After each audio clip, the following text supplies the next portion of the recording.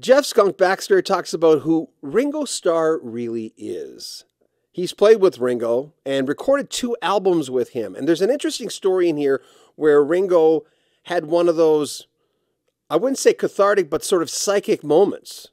Because as we've mentioned before, and a lot of you know this, Jeff Skunk Baxter worked top secret stuff for the government for quite a few years. He was always on call. He never knew when he was going to get called. It's kind of like Men in Black stuff. This is a good clip about Ringo Starr on Rock History Music. Enjoy. Ringo Starr, I get a feeling from, I think I've told you this before, that you don't get starstruck, but uh, what was it like uh, working with Ringo Starr on those two albums? Well, first of all, he's a sweetheart. He's a really good guy. He's more interested in accomplishing something than being somebody. Lieutenant Colonel John Boyd, the man that invented the OODA loop and changed air combat tactics forever, said you can do one of two things. You can either be somebody or you can do something. And I think Ringo Starr was one of those guys that was less interested in being somebody than doing something.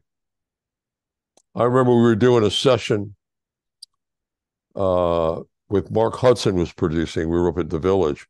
I was playing pedal steel, and those were the days when we all carried pagers. And at, at the beginning of the session, he said, "You know, Skunk, I've got a feeling that that uh, you're gonna, you know, we're gonna get interrupted." And, and you're probably going to get a call from the Pentagon. And I said, well, okay. I mean, all right. But so away we go. Half an hour into the session, my pager goes off. And literally 30 seconds later, two guys in black suits walk into the studio and say, We got to go. And Ringo's laughing. He says, It's okay. It's okay. You know, do what you got to do. We'll finish it at another time. I don't know how he knew. I mean, he knew I was that I had my, uh, uh, another career, but I just thought that was, first of all, it was prescient. It was almost like being able to be a fortune teller, you know, look in the future. But he saw it not as a problem. He just saw it as a part of the deal. Okay. Oh yeah, guys, black suits, black SUVs, got to go to the Pentagon. Okay, great. We'll, uh, you know, going to be back day after tomorrow. Finish it.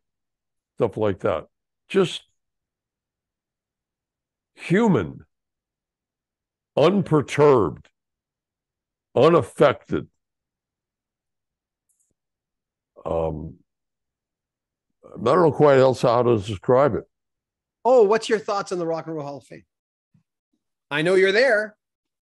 I'm like anything else that um, is designed to recognize one's talent and one's accomplishments. It's a tremendous honor. Uh, I don't know what else to say. It, it, you're a little kid, you know, and you think about this stuff. You never really think about it. But when you receive accolades and you receive um, um, good uh, good feelings and good vibes, I guess, mm-hmm. and and recognition for your accomplishments from your peers. It's hard to say there's anything wrong with that. Yeah. Are you? Uh, um, first of all, did your parents both? Uh, are your parents around? Or your mother's not? You said. Right? Oh, my mom. My mom passed away uh, a few years ago. My dad passed away about 12, 13 years ago. Sorry. The the no, the, no, I appreciate. It. Uh, so did they get a chance to see you working for the government? My dad did. Absolutely. What was his reaction? Well, um, was extremely happy for me. Yeah.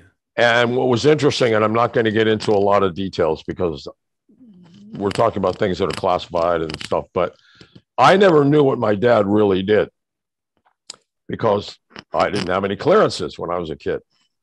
Then, when he retired, he didn't have any clearances, and I couldn't tell him what I was doing.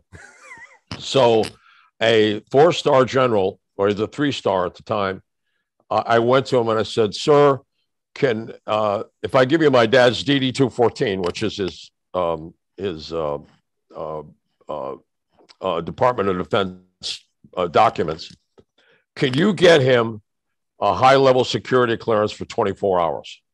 And he said, Sure, I'll do it. So then my dad and I went into a SCIF, which is a secure compartmentalized intelligence facility, and sat down and started to talk. And it was amazing. I had no idea. And he had no idea. And then, of course, I took him when I took him to the Pentagon a couple of times when you know when I was there, and and people are walking down the hall. I go, "Hey, Loy, how you doing?" I'm going, "Oh man, all right, I, we got to talk. We got. Oh my talk. god, we got to talk." That's great. When when you were with the what well the Doobie Brothers and Steely Dan stages, were you reading as much then? Yes. Really? Yeah, I love to read, and it's just what. And if I have a question, I guess now people go on the internet as much as possible and try to find the answers. But at the time, there was really no internet other than what was happening over at ARPA and um, and the and the national labs. So it was books, books, books, books. There's information on Jeff Skunk Baxter's brand new album, his first solo album of all time. Sure took him a lot of years. He's thinking of doing another one now, by the way. Right in the description of this video. Remember, if you want to make a donation to the channel, there are links at the very top to PayPal. You can join our Patreon, get early access to all our videos from all of our channels. But really, like our videos, subscribe to our channel, share them on social media, and comment on them. I'm John Beaudin. This is Rock History Music. Take good care of yourself.